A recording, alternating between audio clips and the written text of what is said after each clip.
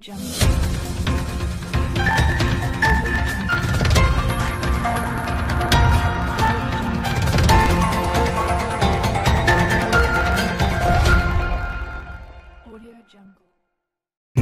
आप सबका स्वागत है। एक महिला ने अपने पति की कनपट्टी में गोली मारकर हत्या कर दी थी।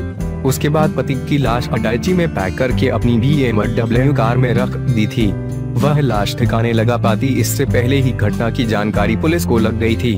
हाल ही में मृतक एकम के भाई ने एस्प को एक एप्लीकेशन सौंपी है, जिसमें लिखा है कि एकम के घर की वीडियोग्राफी कराई जाए, क्योंकि वहाँ अभी भी कई सबूत मौजूद हैं। मृतक का नाम एकम ढिलो, जबकि उनकी पत्नी का नाम सीरत कौर था। सीरत कौर कांग्रेस की पूर्व विधायक इंद्र सिंह मोपर की भतीजी है। प्राप्त जानकारी के मुताबिक पति को गोली मारने के बाद सीरत कौर ने लाश को अटैची में बंद किया और इसे ठिकाने लगाने के लिए एक अन्य महिला के साथ घर के बाहर पार्किंग में ले आई थी। दोनों अटैची को अपनी बी एम डब्ल्यू कार की पिछली सीट पर रखने की कोशिश कर रही थी। अटैची काफ़ी भारी थी और कोशिश करने के बावजूद वे इसे कार में रख नहीं पाई रही थी।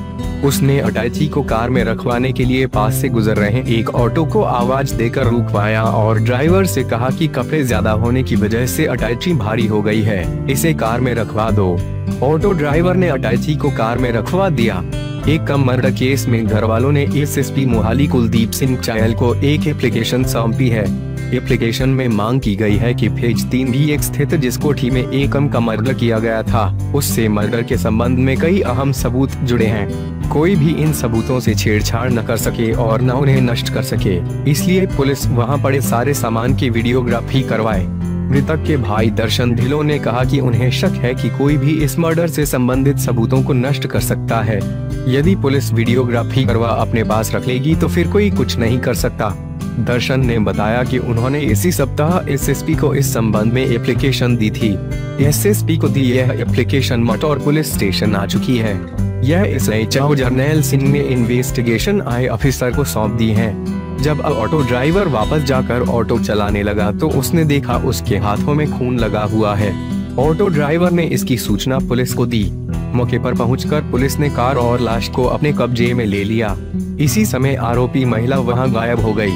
पुलिस ने शव को पोस्टमार्टम के लिए भिजवा दिया है और आरोपी महिला को तलाशने के लिए टीमें गठित की थीं। पुलिस ने मृतक के छोट भाई दर्शन सिंह की शिकायत पर सीरत कौर, मृतक की सास जसविंदर कौर और मृतक के साले विनय के खिलाफ हत्या करने व सबूत मिटाने का मामला दर्ज कर लिया गया था।